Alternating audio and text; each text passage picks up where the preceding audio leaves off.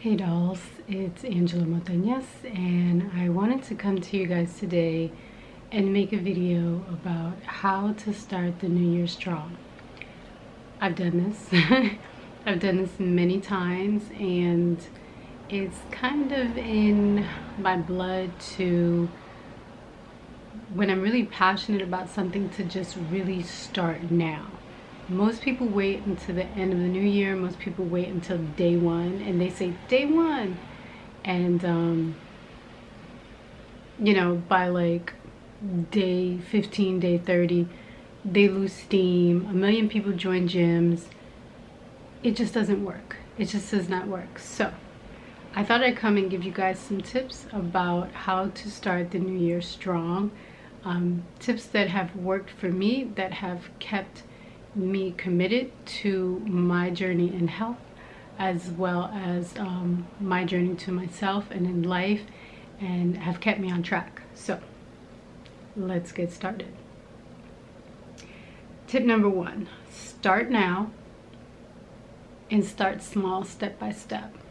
If you give yourself too many big goals at one time, you're going to be overwhelmed. So start small and whatever you decide to start with, it should be achievable so you can check it off your list. And you should be able to make steps out of it. For instance, right? For instance, if you are looking, many people are looking to lose weight or to get fit in the new year, right? So instead of saying, I'm going to lose 50 pounds, I'm going to lose 100 pounds, instead of saying, this is what I'm going to do for the first month or the first year, you know, what do you feel is achievable? Research is helpful. Um, go on YouTube, find people that have lost a significant amount of weight if that's what you're looking for, or find people that have achieved better health and just follow their progress, follow their journey, go to their earlier videos and see what they did on a daily basis. That's what I mean when I say it should break down into simple steps. What are they doing every single day? Because your habit and the things that lead to the outcome that you want is happening every single day. So check what they're doing. What are their days like? What are they eating like? And then see how you can break that down into steps that are achievable for you and see how you can make it so that it merges with your your palette or it merges with the way that you want to live life day by day. Because it's the day by day that will really get you to the end goal whatever your end goal is. Number two become what you wish to be. So that's an actionable things that's an actionable thing. Find something that you can duplicate and either replicate or make your own over and over and over. So become what you wish to be. So when i decided that i wanted to be a healthier person a healthier annie i said who is out there doing what it is that i want? Who has achieved what it is that I really want. And so I was researching so many YouTubers. I got into their videos. I watched them every single day, all day. if they were juicing, I went out and I bought a juicer. I followed some of their recipes when it comes to juicing. And I just made these people my best friends. You know, whether they knew it or not, they were my best friends. And I became what I was seeing. So for instance, if I saw a YouTuber and they were traveling and they were juicing and they were eating vegetables all the time and they looked like they were having the time of their life and they were healthy and they would, that's what I wanted to be. So I watched them and I became, in my mind, I became part of that circle and I kind of duplicated that. I became I became what I wanted to see by mimicking in a sense not completely copying because I blended it to my style, but I saw what they were doing and I said, I'm going to do something similar and I'm going to enjoy the process of learning about this whole process. And that's what I did. And I, I, I enjoyed it. I really did. It was phenomenal. To this day, I mean, I don't go out and buy hundreds of dollars worth of veggies anymore. It's it can be expensive when you're buying that much. I have more of a balanced lifestyle at this point, but it was exciting. It was new. I was experimenting. I was learning about plants. I can tell you what plant or what vegetable or what fruit. I can tell you when it comes to, you know, going to the produce aisle. All I got to do is look at the tip of a leaf. I know what vegetable I'm looking at. That I, I, I'm never confused. People say, oh, what is this? Oh, that's this. Oh, what is this? Oh, that's this. Well, these are dandelions. Well, these are collards. Well, these are because I know the plants. And so learning it and understanding that it was so good for my body, it was exciting. And then on top of that, I was having so much more energy, you know? So, like I said, I would definitely say to start the new year strong, become what you wish to be. Who who are these people hanging out with? What are these people eating? Where are these people going? Like just become what you wish to be and then kind of bring your own flair to it. Number 3. Turn thought to action. So all of these things are actionable. We could sit, we can make vision boards so that we have a, a visual of what we want.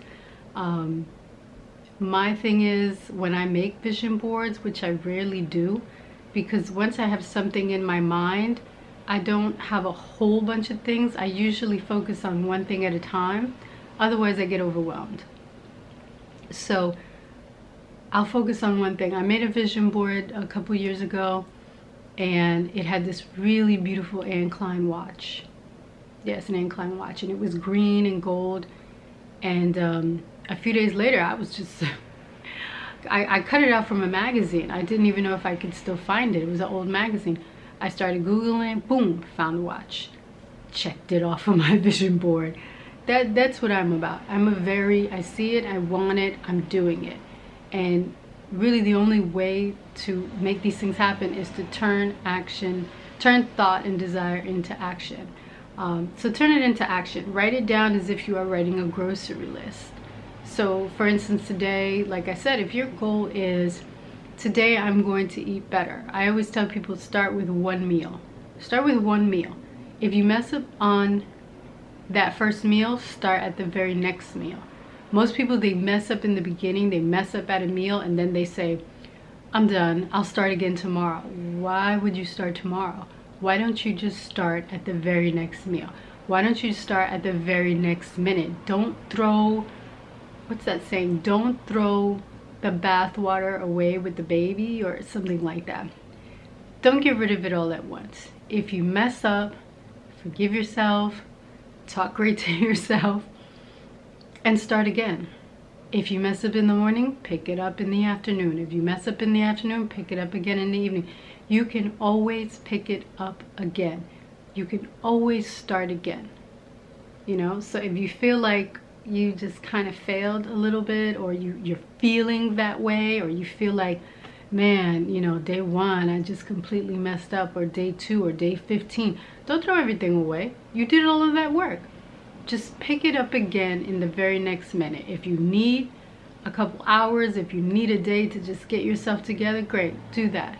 Be gentle with yourself and then pick it up again the very next day. It's all about committing and recommitting to yourself and that's how you stay strong now and throughout the new year and then make it past make it past that February hump because usually by the end of February all the diehards that say well I'm gonna be in the gym or this is how I'm gonna change my life by the time February March comes people are just waiting for the summer you know and it's like people just toss their commitments out the window so turn thought to action and if you mess up, pick it up again. Don't just throw everything away. so Write it down as if you're writing a grocery list. Check off each item on your list as you complete it. That way you feel accomplished and make sure that it's achievable. So every big desire that we have has small achievable steps that can bring us to the bigger picture. Find those achievable steps and as you check off those small achievable steps, you'll be closer and closer to that big picture that you want. Give yourself an actionable task and at the end of the night and just before each new week, reevaluate your list. So every single night, think about, okay, how did I do today? If you feel like I didn't do so great today, that's okay. Be gentle with yourself. This is gonna be a whole new lifestyle. And when you're dealing with a whole new lifestyle and a whole new way of thinking, you it takes time to implement. It takes time for it to really seep into your core, for you, for it to be a habit, and for you to, for it to be second nature so that you can just do it effortlessly. So reevaluate on a weekly basis, reevaluate on a nightly basis. Don't obsess. Be gentle with yourself. Like I said, I'll say it again. In order to for this to be longevity and for you to really commit and have this be something that's going to be long term, you have to be nice to yourself. You have to be gentle to yourself. You have to say nice things to yourself. You have to encourage yourself when nobody else will be there to encourage you. Or everyone else will be like, you didn't give up yet? When are you going to do this?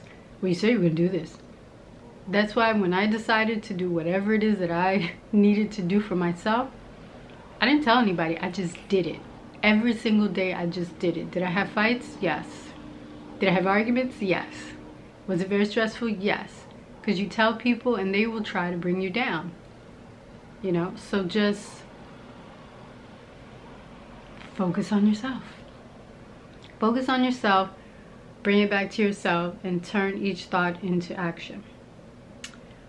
Last one, give it all your own style and flair. Make sure it is in alignment with your desires and your life goals.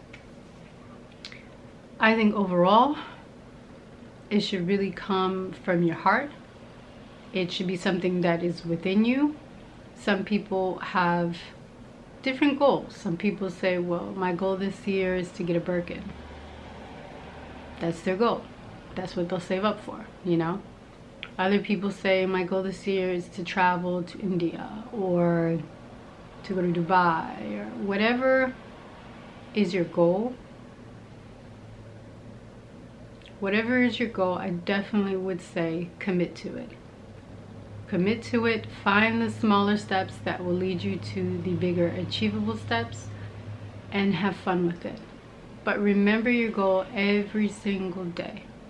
Remember it every single day and the steps that you have to take every single day and, and become what it is that you imagine yourself and you envision yourself as. Become that become it even when you're not in that environment. So if your goal is to live in Dubai and to be like a real housewife of Dubai or something like that, envision yourself there. And if you live in the States and you live, you know, somewhere that is definitely not Dubai, um, I definitely would say just become what it is that you want to be and then do your best to surround yourself with others that are have that same mindset so that you're constantly moving with those that are going along the same path. So stay committed, take actionable steps, make sure that the smaller goals are hit so that they can help to bring you to that bigger goal. If you find that you are not doing well, you know, for the morning time, let's say this for weight loss, and you're like, oh, I failed, I messed up on this and this and that, pick it up again on the next meal, pick it up again in the next hour, journal, whatever you have to do to bring your mind back to, I'm still in this game, I'm still doing this, I'm still going to start the new year out strong and I'm going to continue within the new year strong. So that by the time May, June comes, people think, wow, wow, this person really, really just continued. They were really committed. Yes, because it's an everyday thing. If you have to watch YouTubers and other people that are living the lives that you want to live, do that. What are they eating? What are they drinking? What are they doing? What are they, how are they acting? What is it that they want? Bring your own flair to it. Bring your own authentic self within it, you know? Don't just be a complete copycat. So those are the tips of how to start out the new year strong. I've done this many, many times. I've done this one main time where I was so obsessed and you really have to be obsessed with your goal and with how it is that you want your life to change in order for this to be a commitment. Because you're committed to things that you you know obviously become obsessed with. And in a good way not in like a crazy way but in a good way. You become obsessed with it you love it you want your best self to shine and to come out. So those are the tips on how to start the new year strong and um, in my commitment to starting the new year out strong and continuing within the year i'm going to be doing videos like this. I'm really working toward twice a week. So um, I'll see you guys in the next video. And happy new year dolls. Bye